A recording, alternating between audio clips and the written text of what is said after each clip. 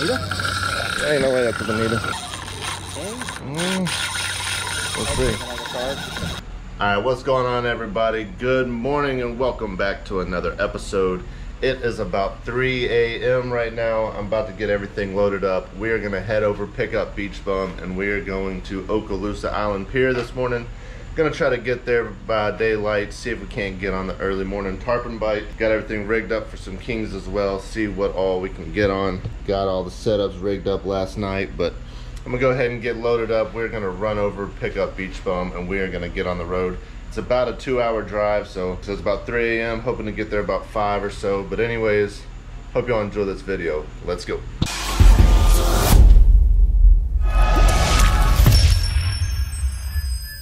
All right, guys, we are pulling up to Beach Bum's house right now. Let's make sure he's awake. Ah, there he is. There he is. Hope we didn't wake the neighbors. Dude, it's like 2 in the morning. You got kids, man. You know how this crap goes. We got to get on the road, man. I was trying to make sure you're ready. We got a long drive ahead of us. Freaking horn. Good gracious. Sorry, man. I'm just excited to get out there. Dude, there's so many. Eat the freaking spoon. The spoon ain't doing it for him this morning. First fish on of the morning. Come on. See if we can get him up. Oh, big boo boo. Come on. Oh. Get up, boy. Get up. Uh, we'll see if you got a gaff handy. We can gaff him. Oh, you got a little bit of Yeah. small. You can get it. That's the first one I want. Try to winch him up here.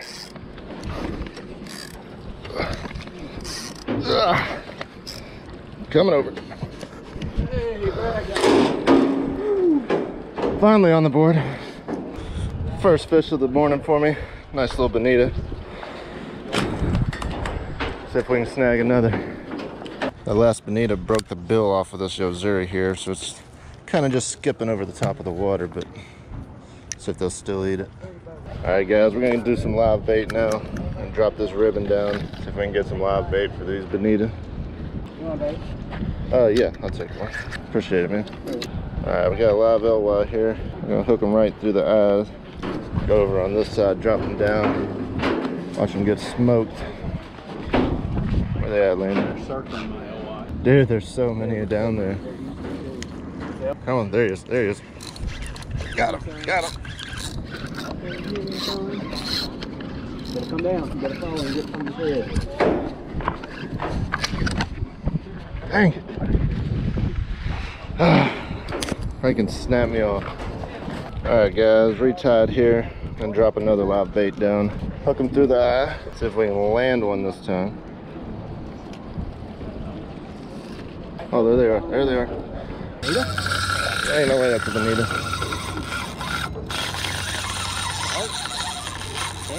Mm. Let's see.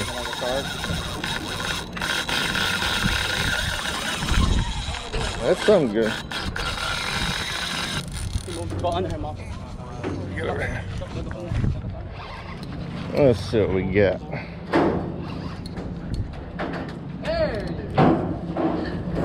You finally did it, Landon. Catch that B7 King off a boat? Yeah. Yeah, the Yeah. one that you on Yeah. Yeah, I was off the boat. It was 32 after being bled out and sitting on ice all day. First one landed though. Oh, really? Yeah. That's a nice fish. Surprised it didn't break me off yet. It's gotta be a shark, but I'm surprised it didn't get broke off with mono. Yeah, whatever it is, it just gave up now. Just dragging in dead weight. Come down to the corner, man. Yeah. Thank you, sir. Yeah. Or another giant king. just gave up. Yeah, I mean, Uh-oh.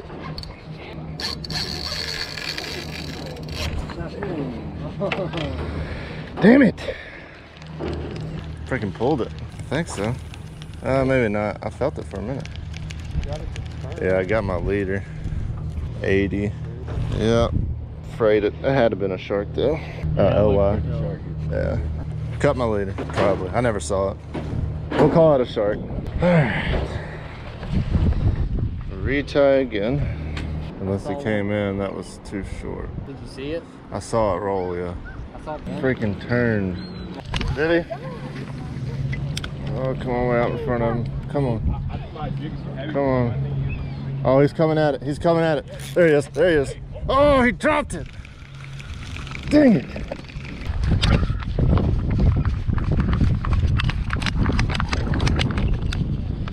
Freaking ate it too. No, he did. That was the first one we've actually got to try to eat. The other ones so far have not paid any attention to it, but.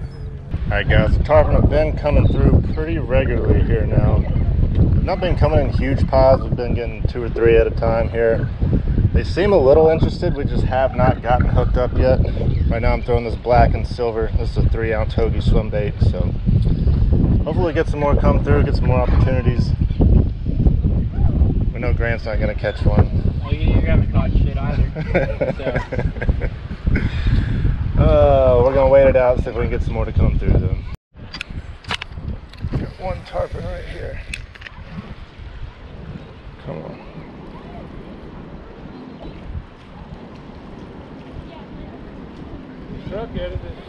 He thought about it. I had one eat it and spit it. That shark definitely got him going somewhere else. Big Bonita blitz this morning. I threw on one almost to the beach. I said I threw on one almost at the beach.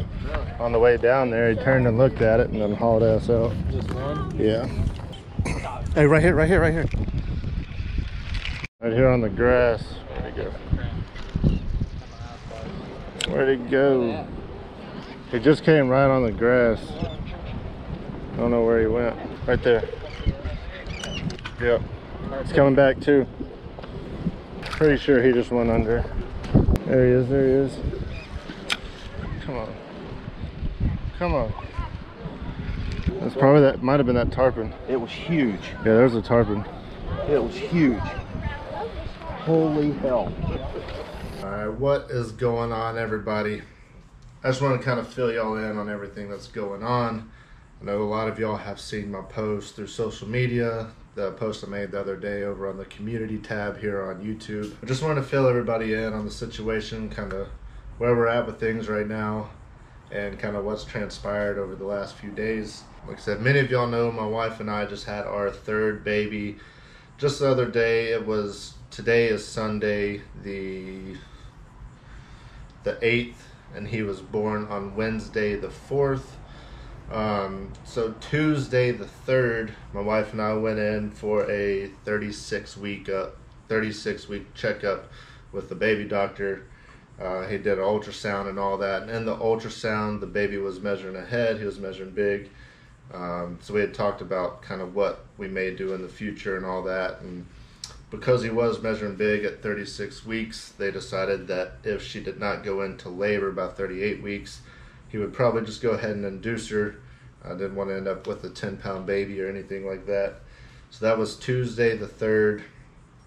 Uh, they did give her a shot that was going to help kind of boost things for the baby if he did go early, help his lungs and all that kind of stuff. He was supposed to get two rounds of that. He got one on the 3rd. Well, that night, the, the night of the 3rd, Tuesday the 3rd, uh, my wife did start having some contractions and stuff like that. She kind of monitored them throughout the evening into the night, and about one o'clock, 1.30 Wednesday morning, uh, she woke me up. She said, uh, "Cameron, my brother-in-law, is on the way over, and we're going to the hospital." So Wednesday morning, we headed to the hospital. We got there about two o'clock or so. Go into the ER, take us up to a room, all the good stuff. Um, and when we get up there, they check her. She's dilating. She was like a four or five, and they basically said we're having a baby. So Wednesday the fourth. So we got there at two o'clock. She she transitions pretty quick through the all the stuff, and so at five fifty eight Wednesday morning. So at 5:58 a.m. Wednesday morning, uh, my son was born. He was four weeks early. He did still weigh seven pounds two ounces, uh, so pretty big for four weeks early. Not really any concern as far as the weight goes. The delivery and everything went great. Everything was fine. Um, after they did all the stuff, he was able to do skin to skin with my wife. She did get to breastfeed for a little bit. Everything was going good. then the nurse came in and uh, I guess just from the way he was breathing or something, she could tell something was a little off. So they ended up taking him, taking him back to the nursery and all that, seeing the pediatrician or the, the doctor that was there at the time. And uh, they went ahead and decided to put him on oxygen. So he was on oxygen at the, the local hospital here in Gulf Shores. And so that point in time, we we kind of thought he may just be on it for a little bit, kind of help him transition because it was a little early. Didn't really know what to expect or what was going to transpire. And so throughout all of that Wednesday, um, he was kind of just on oxygen. We we were able to go in and see him in the nursery from time to time, so that was good. We still got to see him, but weren't able to hold him anymore. And then uh, throughout the night, that night Wednesday night, he didn't do as well.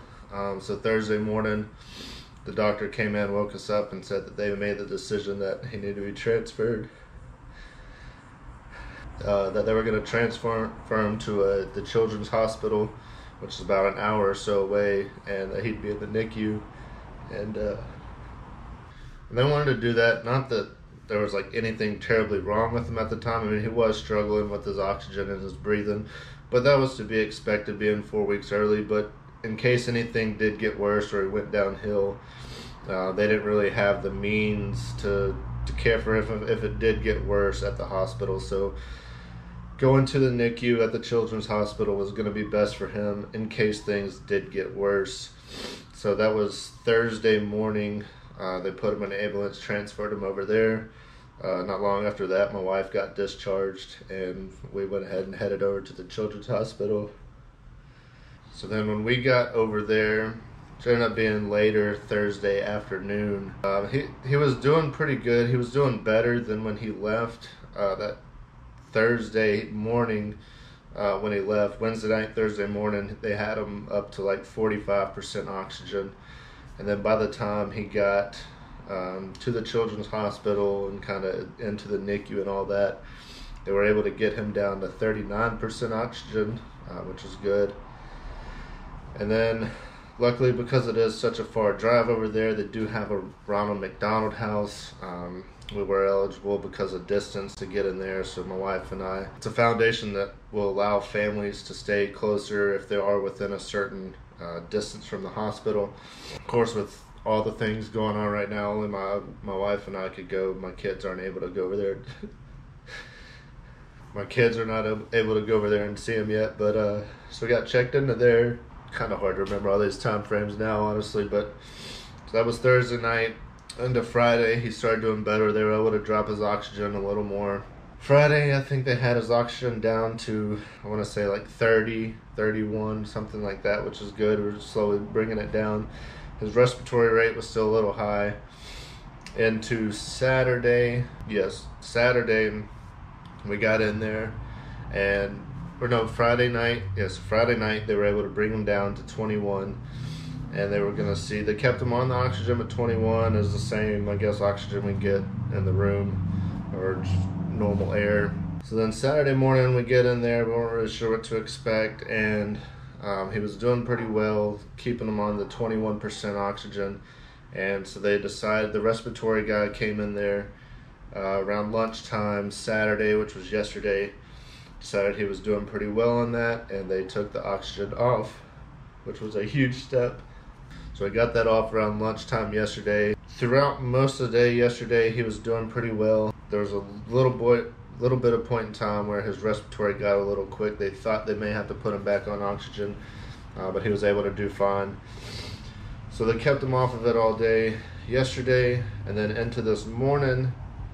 This morning being Sunday, um, he went back. We went back in there. He was still off the oxygen, which is good. He's just on room air. Um, but they did have him on the blue lights for his bilirubin. Uh, his levels did get a little higher, nothing too concerning, uh, but they did want him under that light just to, I guess, break up the bilirubin, whatever all that does, I don't really know. Uh, so he's going to be on that for 24 hours, which will be tomorrow morning. And then hopefully they can take him off of that if his levels are good. It will allow my wife to hopefully start breastfeeding some then. Um, I do have to go back to work tomorrow, which is Monday, which is probably the day you're watching this video. So I am back in Gulf Shores with my kids. My mom did come down to help out with them. Uh, my wife is going to be over at the Children's Hospital taking care of her son. So if there's any other updates as far as tomorrow or anything past this point, um, we will be posting those throughout Facebook, Instagram, all that stuff. So I appreciate all the comments, the messages, the prayers, everything that y'all have done so far. We greatly appreciate it. But I just want to kind of update y'all on where we're at and kind of things moving forward. Uh, we're hoping that things are going to go good today into tomorrow and potentially get to bring him home sometime middle of the week. Um, but again, I'll, I'll be posting on social media and all that. So, so as soon as we're able to bring him home, of course, there will be pictures and everything like that. And I'm sure in another future video, I'll be posting something as well. But again, I just want to say thank you all for the support, the comments, the messages, the text, everything. Really means a lot. But uh, just want to fill y'all in with everything going on. So uh, hope y'all enjoyed a little bit of fishing, little bit of life update. Please subscribe if you're not already. We're definitely on the road to 10,000 by the end of the year. Appreciate each and every one of y'all. And until next time, y'all take care.